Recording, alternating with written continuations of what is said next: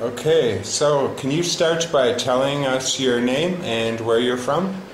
Yeah, uh, my name is Kunchok Palden and uh, actually I'm from Nepal but I live in India. Hmm. Um, how long have you been a monk? Um, 18 years. Wow. Um, can you tell us a little bit about why you think im- English is important for you?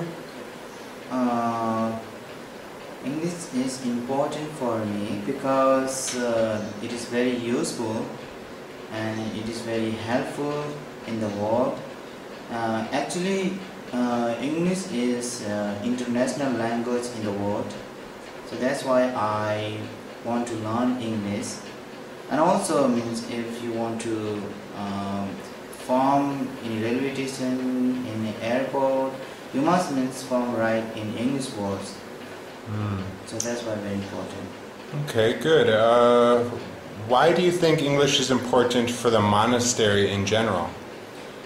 Actually, um, for monastery, because uh, in Western there have so many people who want to know um, dharma about dharma, so we can't uh, speak for them uh, in Tibetan language.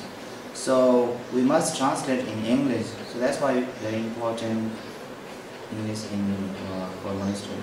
Good. Um, how long have you been studying English? I think uh, one, two, and three years. Oh, good. Um, here at the monastery? Yeah. Okay. Um, what do you think about uh, the Dharma Bridge Foundation? Uh, uh, actually, this is a little bit difficult, but uh, because this is very big uh, uh, Dharma bridge. So Dharma bridge, the name also very nice. Means the bridge of Dharma. That's very nice. And I think uh, Dharma bridge uh, it can help many monastery like uh, Serpom, Sharganden, otherwise they have so many monasteries. So I think Dharma Bridge is very nice. Dharma Bridge is awesome. Okay. Um, well, I thank you for your time and thank you for this little interview. Thank you.